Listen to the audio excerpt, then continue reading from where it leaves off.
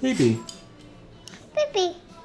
Baby. La la la la la. Blah, blah, blah, blah, blah. La la la la. We're on our way to the ear doctor to uh, get Maple's hearing tested because sometimes it seems like Maple can't hear. I mean, I think she can hear. It's just we'll call her name Maple, Maple, and she just like won't turn her head, and it's kind of weird. So we're we're just we want to check, you know, cover all the bases and make sure that everything's okay and make sure she can hear. Maple. Maple. Maple. Oh, hi. you guys smile at me. You ignore me all the time. Looks like Maple didn't pass her hearing test. Um, the audiologist said she's responding to voices, but she's not responding to tones at lower volumes, which indicates mild hearing loss. Um, and that could just be caused by fluid in the ears, she said. So, no big deal if that's what it is. Maple's had a ton of ear infections, so that sounds like it could definitely be the culprit.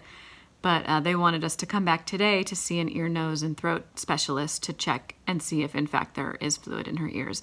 Also, her speech is a little bit delayed, so the audiologist suggested we uh, get a referral to see a speech therapist. So, we got that side of things in action.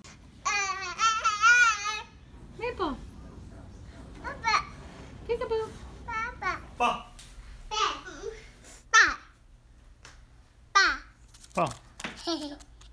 Ba. Ba.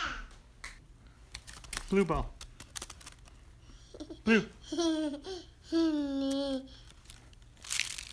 Today we're on our way to the audiologist for Maple. It's uh, she's going to get a hearing test. It's actually her third time. We think she has a speech delay. She talks a lot all the time, but she doesn't really say any real words. Well, I guess now she has a few. She doesn't say as many real words that mean something as we think maybe is normal or typical at this age. So we're just trying to get ahead of the problem if there is a problem and explore why. Maybe she's a little delayed.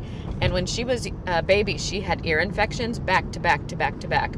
So we have reason to believe that maybe her hearing has been jeopardized a little. So we're just gonna Baby, baby, baby. we're just checking that out. Baby. Baby. Baby, baby, baby. Baby. J. Day. Q. Two. O. Oh. Two. Two. Pa. Pa. Say. Can you say ball? Pa. Ball. Pa. Where's your belly button? There it is.